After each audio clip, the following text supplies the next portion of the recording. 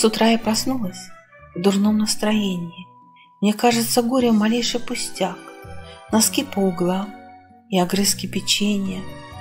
И все раздражает, и все мне не так. Товарищи, сколько я раз повторяла, игрушки на полку, колготки в комод, уборка на смарку. Опять все сначала, как будто мне мало проблем и забот. Что папа, что сына. Народ несерьезный, на лицах ни капли раскаяния нет.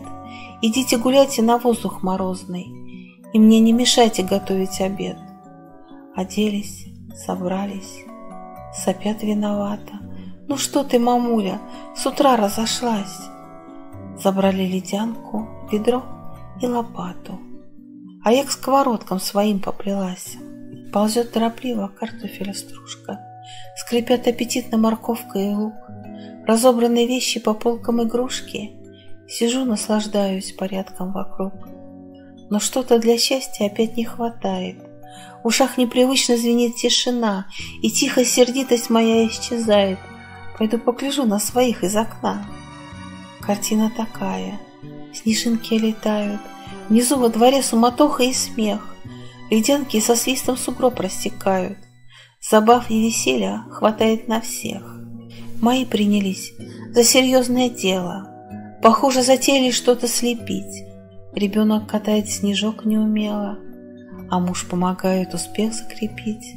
Старательно сын мастерство постигает, ведро насыпает, лопаткой трясет, и горлу горячий комок подступает. О боже, как быстро малыш мой растет! Как будто недавно пеленки, прививки, шаги в ходунках от угла до двери, усталое счастье от первой улыбки, бессонные ночи до самой зари. Стою, батарею ребром подпираю. Ребенок из снега творит чудеса. Чего же я торчу тут? И все пропускаю, ведь это из жизни его полчаса. Бегу по ступенькам, спешу и волнуюсь. Такая короткая эта зима. И носик морозный мне в щечку уткнулся. «Мамуля, ну как же люблю я тебя!» Пусть труд мой домашний опять не оценят.